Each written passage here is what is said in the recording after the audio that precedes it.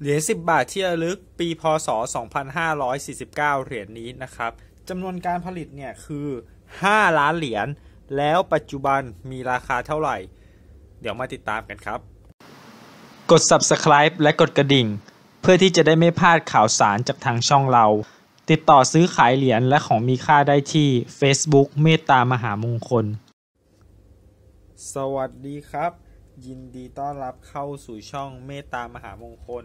นะครับ ก็สำหรับคลิปนี้เนี่ยผมจะมาให้ข้อมูลความรู้มาตอบคำถามเพื่อนๆ พี่ๆ น้องๆ นักสะสมทุกคนกันนะครับว่าเหรียญ 10 บาทที่ระลึกปี 49 เหรียญนี้นะครับ ปัจจุบันมีราคาเท่าไหร่ มีข้อมูลอย่างไรบ้างนะครับ ก็เหรียญเหรียญนี้ก็มีคนส่งเข้ามา ในเพจกันบ้างนะครับ อาจจะพบเจอไม่ได้บ่อยเท่าไหร่ แต่ว่าก็จะมาตอบคำถามแล้วก็ให้ข้อมูลกันนะครับเหรียญ10 บาทเชี่ยลึกเหรียญนี้นะครับ เป็นเหรียญ10 บาทเชี่ยลึกปี 49 นะครับอะเดี๋ยวมาดูไปพร้อมกันนะ วาระของเหรียญนี้นะครับก็คือ 150 ปี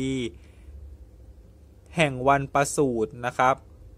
องค์เสนาบดีกระทรวงพระคลัง มหาสมบัตินะครับ 13 มกราคม 2549 นะครับ ก็เป็นเหรียญ 10 บาทเชี่ยลึกของปี 2549 นะครับ ก็เหรียญเหรียญนี้เป็น 10 บาท โลหะ 2 สีนะ ขนาด 26มิลลิเมตรจำนวนการผลิตเนี่ยก็คือ 5 ล้านเหรียญนนะครับ อ่า 5 ล้านเหรียญ ถ้าพูดกันในมุมของคนทั่วไปก่อนนะครับ ที่อาจจะไม่ใช่พ่อค้า หรือว่าที่ไม่ใช่นักสะสมมืออาชีพเนี่ยก็ถือว่าผลิตน้อยนะ 5 ล้านเหรียญคือ ถือว่าค่อนข้างน้อยนะครับสำหรับประชาชนคนทั่วไปนะครับ ที่ไม่ใช่นักสะสมมืออาชีพ หรือว่าที่ไม่ได้อยู่ในวงการซื้อขายเหรียญนะครับ แต่ถ้าสำหรับนักสะสมหรือคนที่ซื้อขายเป็นพ่อค้าคนกลางอะไรพวกเนี้ยก็ถือว่ากลางๆก็แล้วกันนะครับ ก็สำหรับเหรียญเหรียญนี้เนี่ยในปัจจุบันนะครับก็พบเจอได้ไม่ค่อยบ่อยเท่าไหร่นะครับอ่าและเหรียญเหรียญนี้นะครับ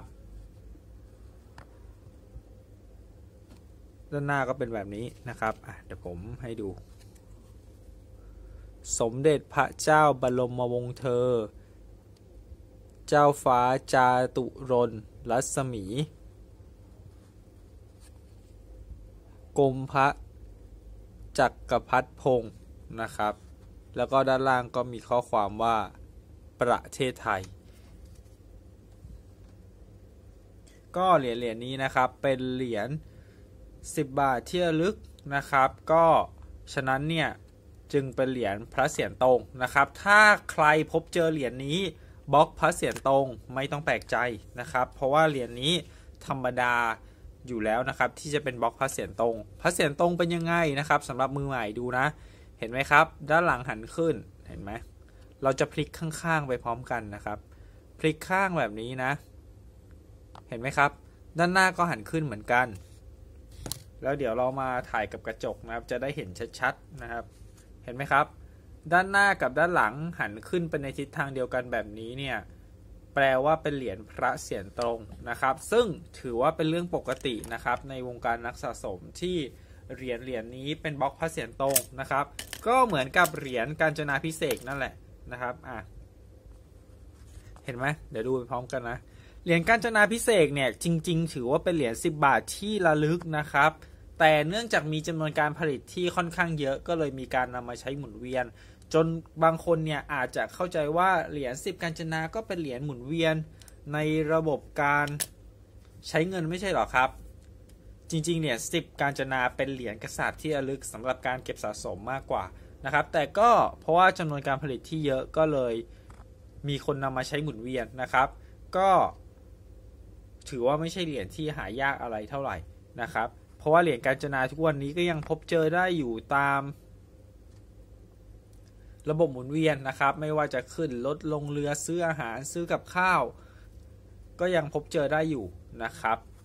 โอเคเนาะก็หวังว่าจะไม่งงกันนะครับสำหรับเหรียญกระสาบที่ระลึกเนี่ยส่วนใหญ่จะเป็นเหรียญบล็อกพระเศียรตรงอยู่แล้ว ไม่ใช่เรื่องแปลกใด ๆนะครับอ่าแต่ถ้าเหรียญกษาปณ์ที่ระลึกแบบนี้นะครับเป็นเหรียญที่เป็นบล็อกพระเศียรกลับนะครับก็คือด้านหน้าหันขึ้นด้านหลังหันลง แบบนี้เนี่ยก็ถือว่าเป็นเรื่องที่แปลกนะครับ เพราะว่าถือว่าเป็นเหรียญ error coin หรือเหรียญตลกนั่นเองนะครับ ซึ่งเหรียญตลกเนี่ยก็ราคาจะค่อนข้างแพงนะครับสำหรับเหรียญเหรียญนี้นะครับ ราคาซื้อขายปัจจุบันเนี่ยในวงการนักสะสมเนี่ยก็อยู่ที่หลักสิบไปจนถึงหลักร้อยนะครับ ขึ้นอยู่กับสภาพร้านที่ขายนะครับ ว่า ตกลงซื้อขายกันเท่าไหร่ แต่ราคาอยู่ช่วงช่วงนี้นะครับ หลักสิบถึงหลักร้อยนะครับ แต่ว่าถ้าเป็นบล็อกพัสเสียนกลับเนี่ยก็อาจจะแพงขึ้นมาอีกนะครับ ทั้งนี้ทั้งนั้นเนี่ยก็ขึ้นอยู่กับการตกลงกันระหว่างผู้ซื้อและผู้ขายนั่นเองนะครับ โอเค อันนี้ก็เป็นข้อมูลของเหรียญเหรียญนี้ ต่อมานะครับจะพูดถึงเหรียญนี้ เหรียญหนึ่งบาทปีสี่เก้าอ่า เหรียญหนึ่งบาทปีสี่เก้าตอนนี้เท่าไหร่นะครับเหรียญหนึ่งบาทปีสี่เก้านะครับ ผมตอบสั้นๆ ง่ายๆ กระชับนะครับก็คือเหรียญหนึ่งบาทปีสี่เก้าถ้าไม่ใช่บล็อกพระเสียรตรงนะครับ หรือเหรียญที่เป็นด้านก้อยสองด้านนะครับ ราคาก็คือ 1 บาทเท่าหน้าเหรียญนั่นแหละนะครับ ก็นี่คือข้อมูลที่แท้ทรูที่แท้จริงเลยนะครับ บางคนเนี่ยส่งกันเข้ามาเยอะนะครับ เหรียญ1บาทปี 49 ถามกันเข้ามาพี่เหรียญนี้เท่าไหร่ครับ เหรียญนี้แพงจริงไหมผมไปดูมาจากเว็บนั้นเว็บนู้นเว็บนี้ช่องนั้นช่องนู้นช่องนี้นะครับ ก็ผมตอบตามความจริงเลยนะครับ ข้อมูลที่แท้จริงก็คือ ถ้าไม่ใช่เหรียญบล็อกพัสเสียนตรง หรือเหรียญที่เป็นด้านก้อยสองด้านเนี่ยก็ยังไม่แพงนะพูดกันตรงไปตรงมานะครับ จะได้เข้าใจกันเนาะ หรือยังเหรียญ5บาทเรือหงเนี่ย ปี 3031 แพงไหม ผมบอกแล้วครับว่า 5 บาทเรือหงแพงอยู่ปีเดียวคือปี 29 นะ 3031 เนี่ย ใครอยากได้นะครับ ติดต่อมาทาง Facebook Fanpage เมตตามหามงคล ร้านเรามีแบ่งปันครับ อ่าราคาอยู่ในช่วงหลักร้อยนะ ขึ้นอยู่กับช่วงนั้นๆนะครับ คือ 30 กับ 31 เนี่ย ปัจจุบันยังไม่แพงนะครับ เพราะว่าสำหรับนักสะสมถือว่ายังไม่ได้หายากเกินไปนะครับ ก็อันนี้คือข้อมูลจริง ๆ ของเหรียญเหรียญนี้นะครับ ที่แพงอะคือ 29 29 คือหายากมากนะครับ โอเค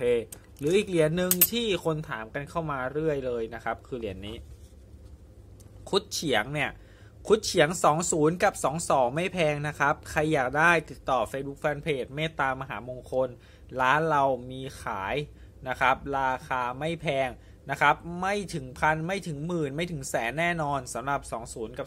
22 นะครับ แต่ 24 เนี่ยแพง 24 เนี่ยแพงเพราะว่าหายาก แต่ 20 กับ 22สำหรับนักสะสมไม่ได้ถือว่าหายากอะไรนะครับ ก็ใครอยากได้ติดต่อมาทาง Facebook Fanpage เมตตามหามงคลได้เลยนะครับ โอเค ก็สำหรับคลิปนี้ก็ประมาณนี้ นะครับ ก็ฝากกดติดตามกด subscribe กดกระดิ่งให้กันด้วยนะครับ สวัสดีครับ